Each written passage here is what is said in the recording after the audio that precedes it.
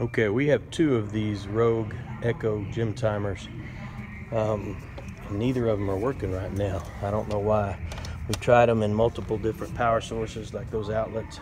We've used moved the uh, power cable from both sides, switched it out on both machines. It's not powering on when you plug it in. These are the two remotes. Um, this is the one, original one. Uh, we've changed out batteries in it.